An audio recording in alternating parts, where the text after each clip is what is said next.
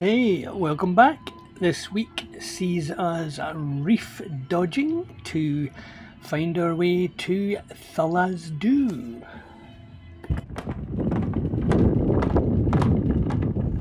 One thing we've discovered in the absence of sailing directions is that some of these fringing reefs have got man-made cuts into the lagoons.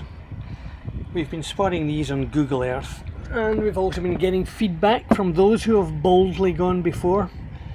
And I have to say once you're inside 360 degree protection it makes it for a very safe anchorage. Safe that is right up until it's blown old boots when it's hang on to your hat time and having reefs all around doesn't seem like such a smart idea after all and funnily enough, Hotel California was playing in the background there. You can check out, but you can never leave. How true. Not going anywhere in this lot. Anyway, prior to all that unpleasantness, we found our way through the cut and spent a couple of pleasant nights anchored in the quiet of another lagoon.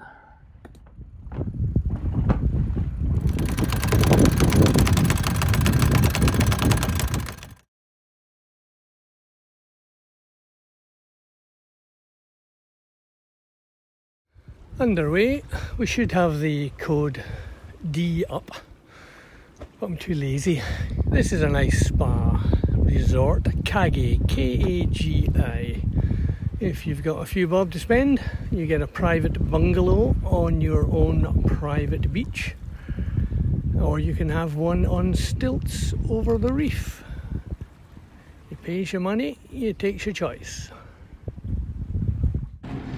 we found another cut into the lagoon just north of Thulusdhoo where we parked for a few days and got a taste of peace, quiet and Lavazza coffee. The builders have reclaimed a kilometre of land to build something like 30 odd houses on stilts 20 something on land and a little palm fringed harbour. This is the first time in about four weeks when we've been allowed to go and meet the locals. So we're heading ashore to the village to see what goes on.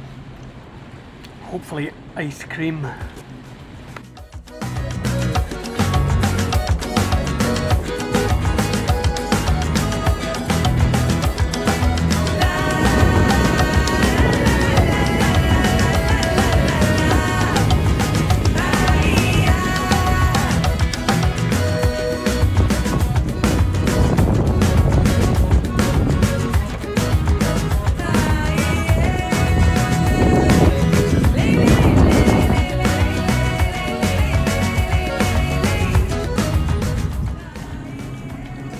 Stop, hunt out the coffee shop.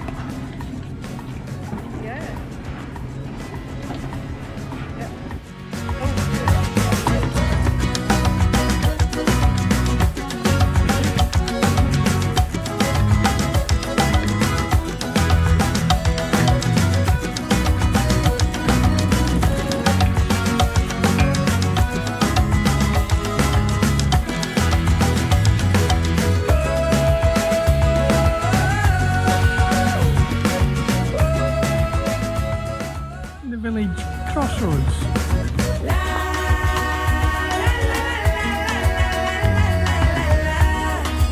quiet. It's Friday prayer time, so everyone's busy. These are Kanamadhu nuts, a speciality and unique to the Maldives, and quite tasty, roasted and dried.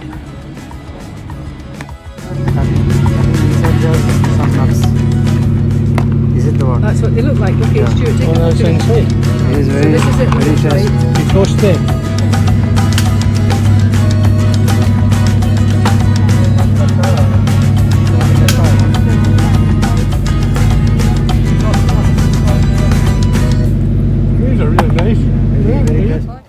Fortified with nuts, coffee and fancy multicoloured drinks, we headed off in the optimistic attempt to see if we could get a COVID vaccine.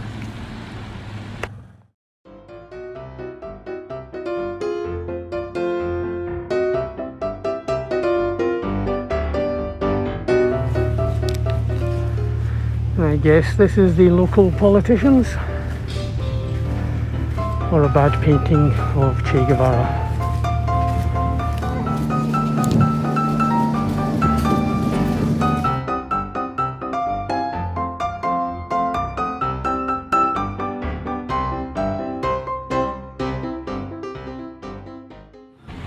And can you believe it?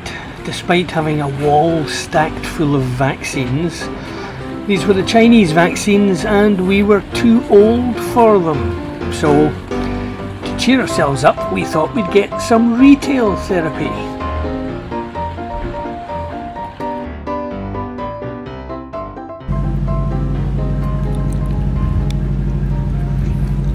Desalination plant for the local water supply and just behind us turn it into Coca-Cola. We believe the world's only desalinated Coke plant.